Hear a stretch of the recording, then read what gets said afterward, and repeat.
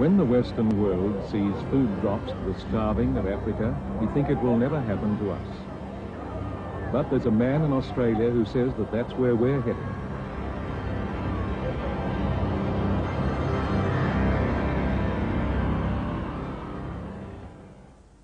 I think if we could get Earth in a living and stable state, not a constantly degrading and dying state caused by our actions, then we have one some right to go to the stars.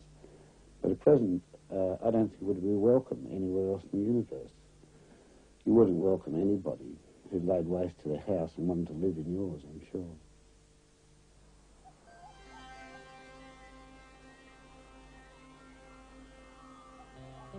Bill Mollison was born in Stanley, Tasmania. He has spent his life in the Australian wilderness, working, researching and exploring. Through it, he developed a deep understanding of nature, but it led him into conflict with the ideas of his generation. After protesting this and that since the 50s, they decided that opposition wouldn't work.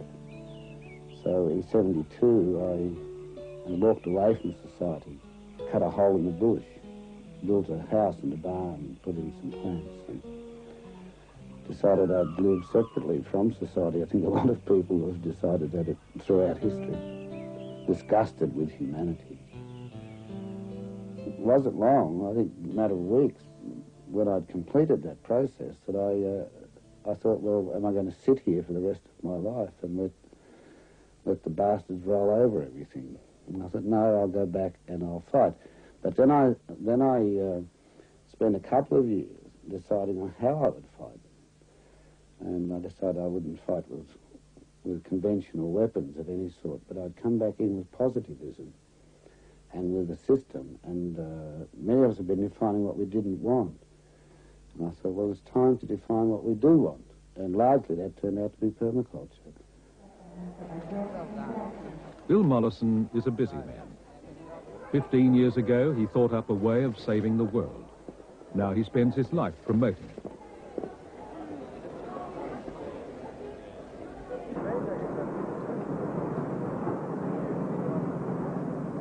In 1982, he won fame when he was awarded the Alternative Nobel Prize. And now permaculture takes him around the world. We're In Christchurch, New Zealand with National Radio. Bill, what I'd like to get first is what's the basic idea behind permaculture? Well, it's always been a system design of integrating uh, good housing to landscape, the least use of materials and least pollution output, conservation of natural resources. It's actually a very practical design system. How widespread is the movement around the world? Well, we teach in some 30 countries and probably a couple of hundred languages. But our graduates... Welcome. I'd like to quote Robin Francis. She says just exactly what I want to say. There is a major shift apparent in society at large. Awareness is, a rapidly, is rapidly growing in all sectors. Permaculture is a bit of everything. To some, it is architecture. To others, organic farming. Some say it is a philosophy and a way of life. Others believe it is their only hope. My name is uh, John Prakash Pereira, and I'm from India. Botswana is developing a permaculture extension centre. The reason I came on this trip was sort of a, work study and sort of a vision quest. Badri Dahal is the name, and I come from the top of the world, Nepal. I'm Bill Mollison from Tweed River in northern New South Wales. Australia, where we planted one and a half million trees last year. Um, I, um, as you know, uh, probably initiated this movement or whatever it is. Permaculture is a design system, but the engineering principles it follows are those of life.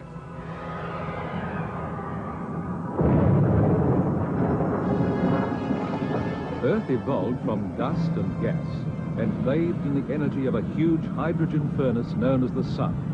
A living system powerful enough to colonize an entire planet was born.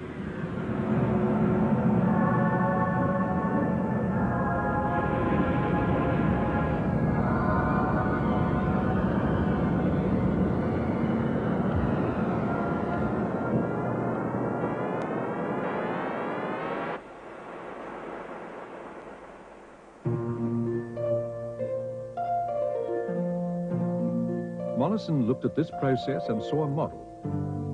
Here was a system that was stable and fertile, yet became ever more complex. Its greatest expression is to be found in a forest system. These Antarctic beech forests are over a billion years old. They existed on Gondwana land, the land mass that was once Australia and South America. They have remained alive for so long because there are millions of species within them. This complexity makes them adaptable, but at the same time, highly productive.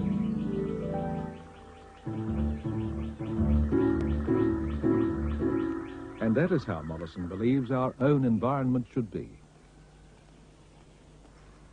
We don't think of this as being stable in the sense of a concrete building or concrete road. It's stable in the sense of the constant adjustments that's being made when we ride a bicycle. It has a dynamic stability. There are hundreds of thousands, millions of things to learn in here. This is not like some machine where we can screw on fittings or put wires between part of the system. Here we rely on the fungus uh, to do their job, to make the connections. Therefore, if we lose the forests, we lose our only instructors. And people must see these forests and wilderness as the greatest educational system that we have on the planet. If we lose all the universities, then we would lose nothing. But if we lose the forests, we lose everything.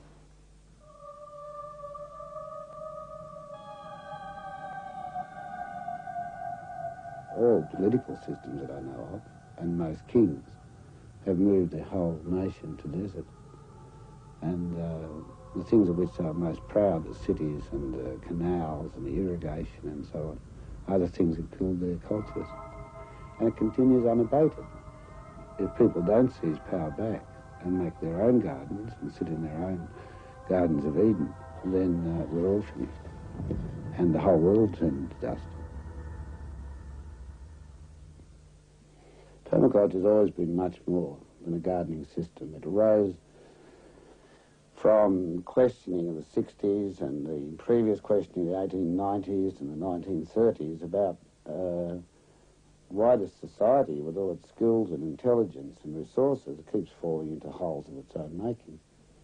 And the word permaculture really uh, was said to be from permanent agriculture, but I always had it in mind that it was from a permanence in culture itself.